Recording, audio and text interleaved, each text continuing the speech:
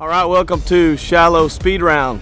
Last Friday night was a great game for us. We really believe that our team is playing the best football they played all week. I, am very proud of the guys. We've been coaching them up all year long and, and really uh, stressing the fact that we have to improve week after week.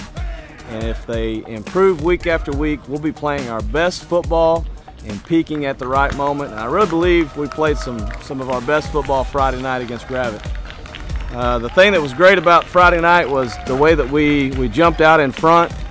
Uh, we scored quickly. Our defense held them. Uh, they did not get a first down until midway through the second quarter.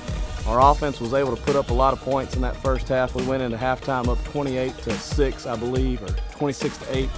And uh, that was just a great way to start a conference football game against a very good opponent. And so, very proud of the way our guys attacked that game mentally, physically, emotionally, and uh, they really did a good job playing fast early and getting, giving us a lot of momentum to go into that second half. Our overall player of the week goes to a guy that, that really has has just done it week after week after week, and it's Adler Dude. He had eight catches for 121 yards and a touchdown, and really was the spark for us offensively. Several other guys that were up for nominations.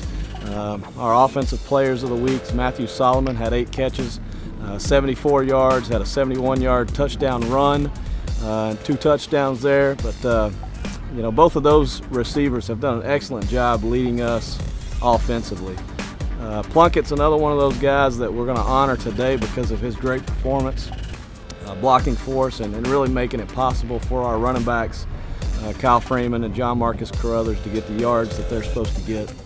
Uh, the Trenches Award goes to Lucas Waltoff, who, again, week after week has been very, very consistent. He's, uh, he's a great offensive lineman, played a lot of defensive linemen as well. Uh, the defensive player of the week is Doug Burke, at six tackles and played very well on the defensive side of the football.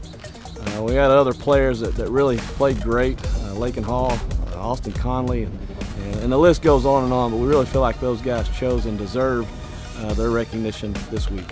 This week, we will be playing at Pea Ridge. Pea Ridge is 9-0. Um, they've been playing some really good football all season long. Coach Travis has done an excellent job uh, preparing them and getting them to play at a very high level. We're excited about the competition this Friday. It's going to be at their place. They've got a brand new facility, and uh, we're excited to travel to Pea Ridge to play. We'll kick off at 7. Uh, we've got two scenarios, obviously. Worst case scenario, if we don't go take care of business, we'll be the two seed. We'll play a first round uh, playoff game here at Shiloh.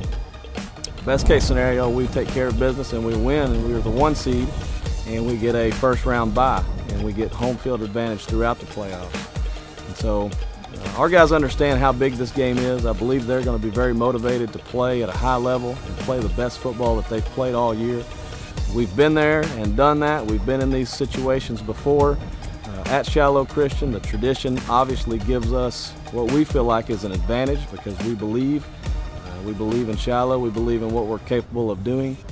Uh, but but Pea Ridge is a very good football team. They play extremely well on offense and defense and in the, in the kicking game. So we're gonna have to uh, we're gonna have to bring a, a, great effort. We're gonna bring great focus. We've got our work cut out for us. We have our hands full.